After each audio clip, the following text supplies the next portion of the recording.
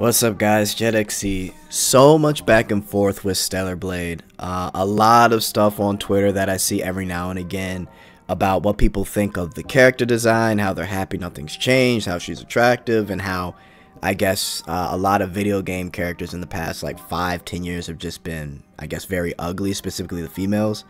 Uh, which I can understand in some sense because I, I definitely know a lot of male characters are always extremely muscular to the point where you could get a body like that, but it like these guys look like they have 2% body fat the way they're walking around, right? But um yeah, with that being said, I I found something on Twitter where the Shift Up CEO Hyung Tae Kim uh, shared his thoughts on Eve's design. And this kind of goes into something that I think is apropos to video games, to even like anime characters, not uh, non fictional characters, right? So here's what he comments, and this is an interview with Games Radar. And he shares this. He says, Honestly, when I uh, when I play a game, I would like to see someone who is better looking than myself. That's what I want. I don't want to see something normal. I want to see something more ideal. I think that is very important in a form of entertainment. This is, after all, entertainment targeted for adults. So, I, I think I think that's an extremely, extremely good point. One, these characters aren't real. It's a video game. So what happens is it's like when you go into customization, right? Whether you're a guy or a girl, you'll you'll do one of two things, right? Maybe you'll make a silly looking character or you'll try to make the character look like yourself. And typically when you make the character look like yourself, I mean, if we be honest, right? You're probably going to go with something that looks a little bit more appealing than maybe you may feel that you are, which is never a bad thing, right? But it's you trying to project like, man, I would look great if I look like this or wow, this character looks great, right? And that's the same thing with Eve. We saw the model that they did a uh, basically a um, gosh, what's the word I'm looking for? Uh, that basically they did like a whole mocap of her body and captured her entire body, face all the way down uh, to legs, right?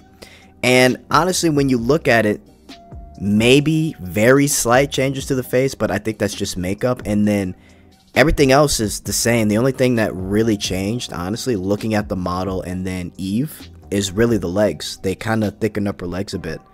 Um, the model has like kind of skinny legs, like really skinny legs. So they thickened her up in the leg department. But honestly, like that's about it. And then she's got this insanely long flowing hair, right? And you know, it, I, I just find it interesting because we see people going back and forth about attractive female character when if we really think about it, when we like a character that we like, a lot of the times we find them very attractive. When we go to design our own character a lot of the times it'll maybe it'll look like us but it'll be a better version of us or something that we hope to look like. This kind of reminds me of like and this is kind of off topic a bit but i'm assuming a lot of people that have played like stellar blade may be anime fans so i'm just going to give an example um, there's an anime called jjk um, season 2 ran a couple months ago there's a character in the show named Toji Fushiguro, right?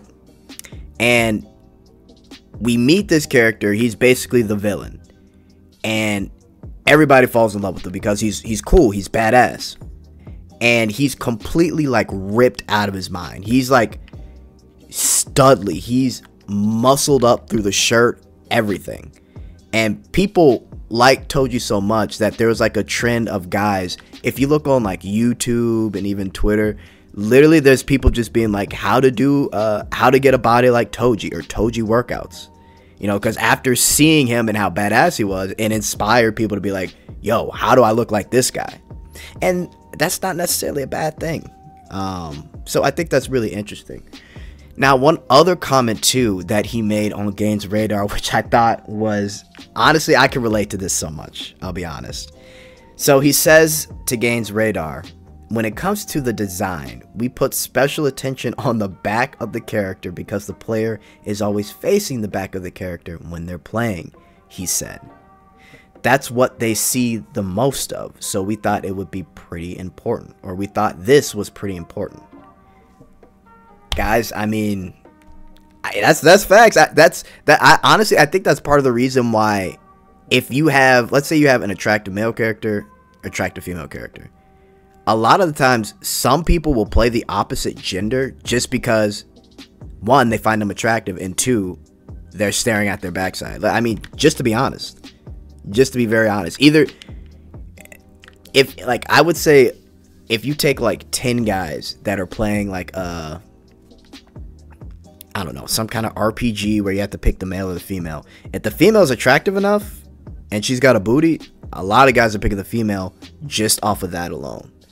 Um, so I, I find that funny how uh, that was an important detail to them, but I mean, it, it makes sense. Um, it makes sense, right?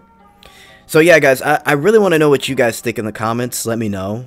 Uh, it really adds into some perspective of what uh, Shift Up we're thinking for Stellar Blade, and honestly, I, I can't wait for the game. But I think this this is the opinion of uh, Shift Up and their CEO, and honestly, it, it, makes a lot of sense to me.